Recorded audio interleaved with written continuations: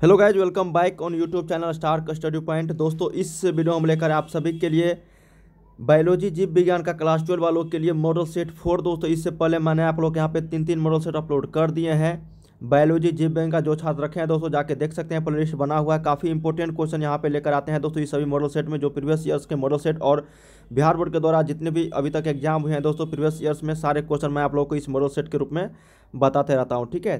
तो जाके देख सकते हैं दोस्तों, ये इस वीडियो हम लोग मॉडल सेट फोर को देखेंगे। काफ़ी इंपॉर्टेंट क्वेश्चन लिया गया है, वीडियो को लास्ट तक ज़रूर देखेगा अगर आप भी क्लास ट्वेल्व के छात्र हैं दोस्तों। और इसी तरह के और भी वीडियो देखना चाहते हैं, चैनल की मदद से चैनल को सब्सक्राइब करके बेलाइकन को प्रेस कर दीजिएगा और साथ में ऑल नोटिफिकेशन सेलेक्ट भी कर लीजिएगा, ठीक है? वीडियो को लाइक करना मत भूलिएगा और कमेंट करके बताइएगा दोस्तों इसमें जितना भी क्वेश्चन मैंने आप लोग को यहाँ पे बताया, आप लोग कितना पहले से जानते थे, ठीक है?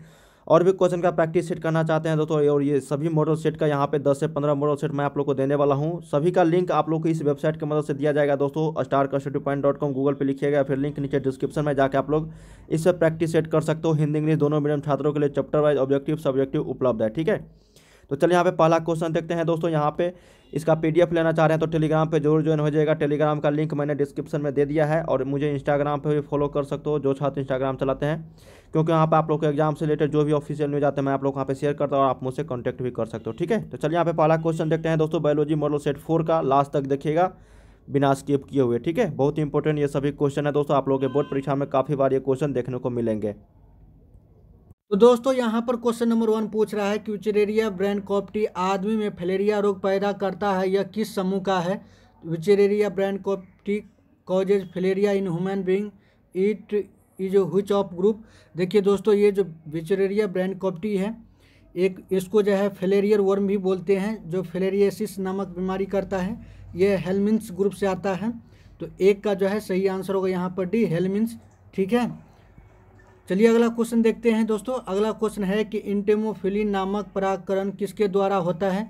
देखिए दोस्तों, अगर पोलिनेशन जो होता है फ्लावर में अगर इंसेक्ट के द्वारा होता है तो उसको इंटेमोफिली कहा जाता है। तो दो का जो है सही आंसर होगा यहाँ पर डी कीड़ा यानी इंसेक्ट के द्वारा। अगला क्वेश्चन है कि कॉपर टी रोकता है कॉपर टी प्रिवेंट्स तो कॉपर टी जो है दोस्तों, ये एक प्रकार का इंट्रा यूटेराइन डिवाइसेज है। गर्भ निरोधक जो है, एक डिवाइस के रूप में काम करता है, जो कॉपर आयन को रिलीज़ करता है और स्पर्म को ओवम से फर्टिलाइज करने से रोकता है, ठीक है? यानी कि ये जो है, बेसिकली फर्टिलाइजेशन को, निषेचन को रोकता है। दोस्तों, यहाँ पर फर्टिलाइजेशन होगा, ठीक है? फर्टिलाइजेशन। यानी ये जो है, निषेचन को रोकता है तो तीन का जो है, सही आंसर होगा यहाँ पर ए। अगला क्वेश्चन देखते हैं। अगला क्वेश्चन है कि निम्न में से कौन यौन संचारित रोग है which of the following the sexually transmitted disease तो इन सभी में दोस्तों सिफिलिस जो है, जो बैक्टीरिया से होने वाला एक डिज़ीज़ है, जो सेक्सुअल ट्रांसमिटेड डिज़ीज़ के अंतर्गत आता है तो चार का जो है सही आंसर होगा यहाँ पर डी सिफिलिस अगला क्वेश्चन देखते हैं। अगला क्वेश्चन है कि आरएनए के पैरामिडिन में पाया जाता है। तो देखिए दोस्तों बेस जो है बेसिकली दो प्रकार के होते हैं। एक होता है प्यूरिन और दूसरा होता है पैरामिडिन ठीक है? तो पैरामिडिन में आता, प्यूरिन में आता है एडिनिन और ग्वानिन और पैरामिडिन में आता है साइटोसिन, थायमिन और यूरासिल।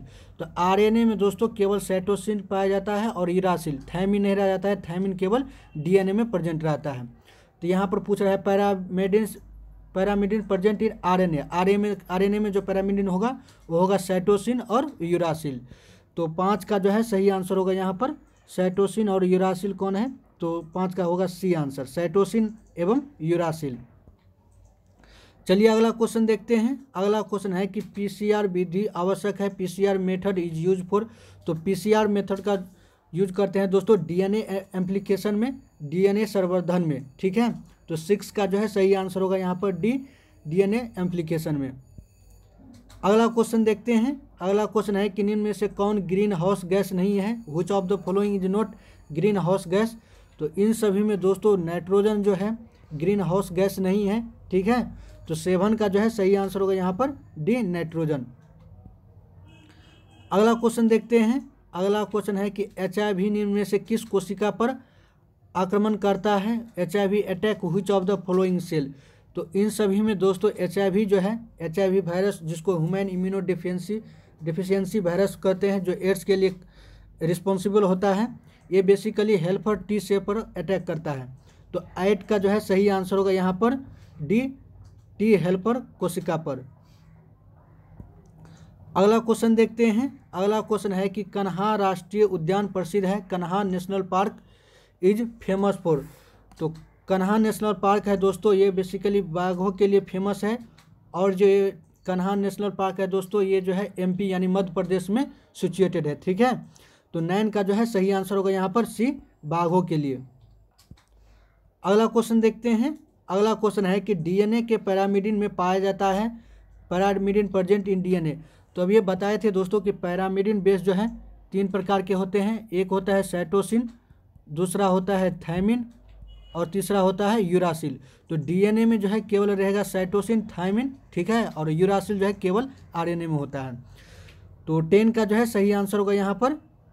साइटोसिन और थायमिन साइटोसिन थायमिन किसमें है? तो ए जो है इसका सही आंसर होगा टेन का। थायमिन एवं साइटोसिन जो है केवल डीएनए में पाया जाता है। अगला क्वेश्चन देखते हैं। अगला क्वेश्चन है कि एनमोफिली नामक पराकरण किसके द्वारा होता है?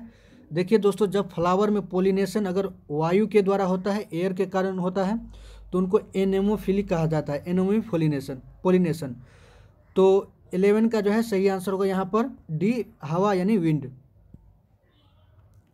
अगला क्वेश्चन देखते हैं। अगला क्वेश्चन है कि एक परिस्थिति तंत्र में हरे पौधे हैं, ग्रीन प्लांट्स जेन इको सिस्टम आर।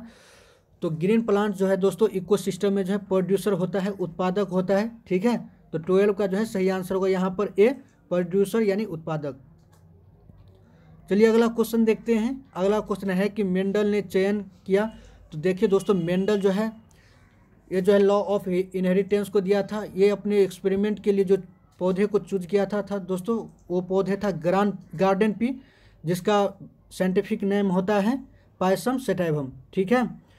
तो थर्टीन का जो है सही आंसर होगा यहाँ पर डी गार्डन पी यानी गार्डन मत्रड अगला क्वेश्चन देखते हैं। अगला क्वेश्चन है कि निम्न में से कौन एक लिंगी है whose one of the following is the unisexual unisexual का मतलब होता है, दोस्तों कि किसी भी प्लांट में केवल एक सेक्स पाया जाता हो, एक सेक्स यानी कि या तो मेल फ्लावर पाया जाता होगा उस प्लांट में, या तो केवल फीमेल फ्लावर पाया जाता है। तो उनको जो है यूनिसेक्सुअल प्लांट्स बोलते हैं। तो इन सभी में दोस्तों पपाया जो है, यानी पपीता पपीता जो है यूनिसेक्सुअल प्लांट है, ठीक है? तो फोर्टीन का जो है सही आंसर होगा यहाँ पर सी पपीता अगला क्वेश्चन देखते हैं। अगला क्वेश्चन है कि निम्न में से कौन आहार श्रृंखला सही है? Which of the following the correct food chain. तो इन सभी में दोस्तों, ऑप्शन जो है बी जो है सही आंसर होगा इसका। घास, बकरी और शेर। घास जो है, घास को बकरी खाता है और बकरी को तो दोस्तों, यहाँ पर जो घास जो है, घास को बकरी खाता है और बकरी को शेर खाता है, जो एक प्रकार का जो है फ़ूड चेन बनाता है। तो फिफ्टीन का जो है सही आंसर होगा यहाँ पर बी। चलिए अगला क्वेश्चन देखते हैं। अगला क्वेश्चन है कि गोल्डन यानी सुनहरा धान में कौन सा विटामिन पाया जाता है? Which vitamin is found in the golden rice तो गोल्डन रैस में दोस्तों जो विटामिन पाया जाता है वो है विटामिन ए तो सिक्सटीन का जो है सही आंसर होगा यहाँ पर ए विटामिन ए अगला क्वेश्चन देखते हैं। अगला क्वेश्चन है कि गिर अभयारण्य प्रसिद्ध है। तो जो गिर सेंचुरी है दोस्तों, ये फ़ेमस है शेर के लिए। तो सेवेंटीन का जो है सही आंसर होगा यहाँ पर सी शेर के लिए। अगला क्वेश्चन देखते हैं। अगला क्वेश्चन है कि न्यूक्लियोसाइड है। तो न्यूक्लियोसाइड में दोस्तों बेसिकली होता है पेंटेज शुगर और नाइट्रोजन बेस ठीक है? तो 18 का जो है, सही आंसर होगा यहाँ पर ए शुगर एवं नाइट्रोजन बेस अगर यहीं पर अगर फॉस्फेट लगा देते दोस्तों, अगर फॉस्फेट लगा देते तो ये हो जाता है न्यूक्लियोटाइड ठीक है? तो आप इनको भी याद रखिएगा। चलिए अगला क्वेश्चन देखते हैं। अगला क्वेश्चन है कि शुक्राणु जनन का नियंत्रण किसके द्वारा होता है? Regulation of spermatogenesis is done by तो एस्पर्मेटोजेनेसिस का रेगुलेशन होता है दोस्तों एल ओ एल एच यानी लुटेंजिन हार्मोन के द्वारा होता है। तो 19 का जो है सही आंसर होगा, यहाँ पर बी एल एच हार्मोन अगला क्वेश्चन देखते हैं। अगला क्वेश्चन है कि मानव रुधिर में ए बी वर्ग में तो देखिए दोस्तों, जो ए बी ब्लड ग्रुप होता है, उसमें एंटीबॉडी एबसेंट रहता है। ठीक है? और एंटीजिन दोनों प्रजेंट रहता है। एंटीजिन जो है इसमें, एंटीजिन प्रजेंट रहता है, लेकिन एंटीबॉडी जो है एबसेंट रहता है। तो ट्वेंटी का जो है सही आंसर होगा यहाँ पर। बी, एंटीबॉडी अनुपस्थित रहते हैं। चलिए अगला क्वेश्चन देखते हैं। फिर वही क्वेश्चन आ गया दोस्तों कि गोल्डन राइस में पाया जाता है। Which vitamin present in the golden rice तो अब ये बताए थे दोस्तों कि गोल्डन राइस में जो है विटामिन ए पाया जाता है। तो ट्वेंटी वन का जो है सही आंसर होगा यहाँ पर ए, विटामिन ए। अगला क्वेश्चन है कि मेंडल ने प्रस्तावित किया था मेंडल प्रोपोज तो मेंडल जो दिया था दोस्तों वो लॉ ऑफ़ इनहेरिटेंस के दिया था, यानी अनुवंशिकता के नियम को दिया था, ठीक है? और ये अपना जो नियम, जो एक्सपेरिमेंट किया था, उसके लिए वो चूज़ किया था गार्डन पी पैसम सेटेबम तो ट्वेंटी टू का जो है यहाँ पर सही आंसर होगा। सी अनुवंश अनुवांशिकता के नियम यानी लॉ ऑफ़ इनहेरिटेंस को दिया था मेंडल ने। अगला क्वेश्चन देखते हैं। अगला क्वेश्चन है कि मिट्टी को उपजाऊ बनाने के लिए, बनाने में सहायक है। Which one of the following the helpful in the improvement of soil तो इन सभी में दोस्तों बायो फर्टिलाइज़र जो है, ठीक है? ये मिट्टी को उपजाऊ बनाने में हेल्प करता है। तो ट्वेंटी थ्री का जो है सही आंसर होगा यहाँ पर। बी बायो फर्टिलाइज़र अगला क्वेश्चन देखते हैं। अगला क्वेश्चन है कि यू कैरियोट्स में पाए जाने वाला नॉन कोडिंग क्रम को कहते हैं। Non coding sequence in the you eukaryotes is called तो जो नॉन कोडिंग सीक्वेंस होता है दोस्तों, उसको बोलते हैं इंट्रॉन्स ठीक है? तो ट्वेंटी फोर का जो है सही आंसर होगा यहाँ पर सी इंट्रॉन्स इंट्रॉन चलिए अगला क्वेश्चन देखते हैं। अगला क्वेश्चन है कि मानव का उद्गम स्थल माना जाता है the place of origin of man तो जो प्रेजेंट अभी ह्यूमन बीइंग है दोस्तों, उसका जो उत्पत्ति हुआ था, वो हुआ था अफ्रीका महादेश से, ठीक है? तो ट्वेंटी फाइव का जो है सही आंसर होगा यहाँ पर बी अफ्रीका। अगला क्वेश्चन देखते हैं। अगला क्वेश्चन है कि एड्स के लिए स्क्रीनिंग परीक्षण है the screening test for AIDS तो एड्स के लिए जो स्क्रीनिंग टेस्ट होता है दोस्तों, इसका नाम है एलिसा एलिसा इसका फुल फॉर्म होता है enzyme linked immunosorbent assay ठीक है? जो जो है एड्स के पता, एड्स को पता लगाने के लिए किया जाता है। तो ट्वेंटी सिक्स का जो है सही आंसर होगा यहाँ पर बी, एलिसा। तो अगला क्वेश्चन है दोस्तों, ट्वेंटी सेवन का कि किस समूह के एंटीबॉडी से एलर्जी क्रिया प्रारंभ होती है? Which group of antibody causes allergy देखिए दोस्तों, जब किसी को एलर्जी हो जाता है तो उनमें जो है एंटीबॉडी आईजीई की मात्रा बढ़ जाती है, जो एलर्जिक रिएक्शन के लिए जिम्मेवार होता है। तो ट्वेंटी सेवन का जो है सही आंसर होगा यहाँ पर बी एंटीबॉडी आई जी ई अगला क्वेश्चन देखते हैं। अगला क्वेश्चन है दोस्तों कि रेस्ट्रिक्शन इंजाइम निम्नलिखित में से कौन है? तो रेस्ट्रिक्शन इंजाइम है दोस्तों, ये न्यूक्लिक एसिड को काटने में मदद करता है। ये दो प्रकार के होते हैं। एक होता है इक्सोनिक्लियजेज और दूसरा होता है इंडोनिक्लियजेज जब डीएनए को बाहर से काटता है तो वो होता है इक्सोनिक्लियजेज जब डीएनए को अंदर से काटता है तो वो होता है इंडोनिक्लियजेज तो ट्वेंटी एट का जो है सही आंसर होगा यहाँ पर डी, बी और सी दोनों। अगला क्वेश्चन देखते हैं। अगला क्वेश्चन है कि बीटी टॉक्सिक किससे प्राप्त होती है? BT toxic is is obtain from तो बीटी टॉक्सिक प्राप्त होता है दोस्तों, वो होता है बैसिलस थ्रीवेंसिस से, जो एक प्रकार का बैक्टीरिया है सोयल बैक्टीरिया है, ठीक है? और बैक्टीरिया जो आता है दोस्तों, वो प्रोक्रियाटिस के अंतर्गत आता है।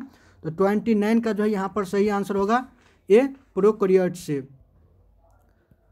चलिए अगला क्वेश्चन देखते हैं। अगला क्वेश्चन है दोस्तों कि जीन क्लोनिंग के समय जीन टैक्सी किसे कहा जाता है? In gene cloning which is called gene taxi. तो जीन टैक्सी का मतलब होता है दोस्तों कुछ जीन कैरी करता है, जो जीन को एक जगह से दूसरे जगह ले जाने में मदद करता है तो उनको जो है जीन टैक्सी कहा जाता है। तो जीन टैक्सी का जो काम करता है दोस्तों वो करता है प्लाज्मिड। तो तीस का जो है सही आंसर होगा यहाँ पर बी प्लाज्मिड। तो उम्मीद करता हूँ दोस्तों कि आपको ये वीडियो पसंद आया होगा। अगर वीडियो पसंद आया है तो वीडियो को ज़रूर लाइक कीजिए, चैनल को ज़रूर सब्सक्राइब कर लीजिएगा। ठीक है, यहाँ तक देखने के लिए बहुत बहुत धन्यवाद।